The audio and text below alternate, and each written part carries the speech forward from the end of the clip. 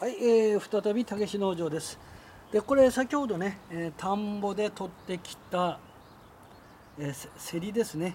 で、実はあここにね、えーうちの中子ばあちゃんが何本か植えてあるんですよ。で、まあここへね、ちょっと新しく仲間入りさせちゃいましょう。で、株が増えすぎるようでしたらね、また別のところに植え替えればいいんで。えちょっと過密になっちゃうんですがね。よっこいしょ。ここに植え替えたいと思います。まあ適当ですよね。もう植わってれば根っこついちゃいますんで。適当にガサガサと。すごい過密だよね。いいのかいおいおい。もう半分や焼けになって植え植えてますからね。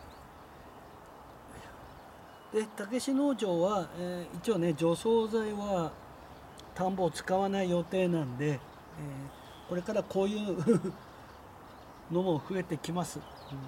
うんまあただこれ一回ね機械ですき込んでしまえばしばらく出ないんで、えーそんなにね厄介な雑草ではないとうん武志農場的には考えてます。よいしょ。あこれ逆だ。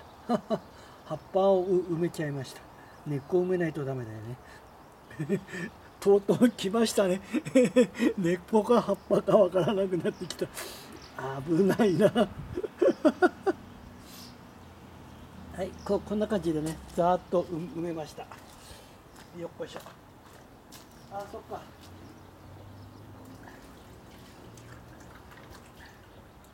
シャワーのシャワーノズル向こうへ持ってっちゃったんだ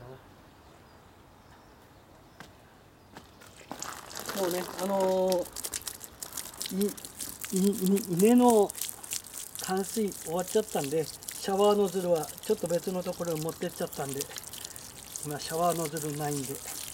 まあいいやこれでね。ちょっと失敗しました。はいこんな感じでねあと置いとけば。自然に芽がつくんでよいしょ。よいしょ。まあこれでね大きくなったら食べればいいいいしね。うん。ちょっとちょっと混雑気味なんですけど。まあこれでちょっと様子を見たいと思います。最後までご視聴ありがとうございました。